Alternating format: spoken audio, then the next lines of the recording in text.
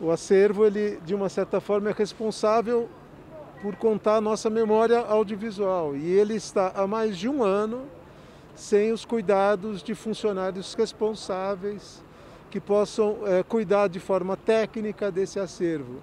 E essa situação é de responsabilidade do governo federal.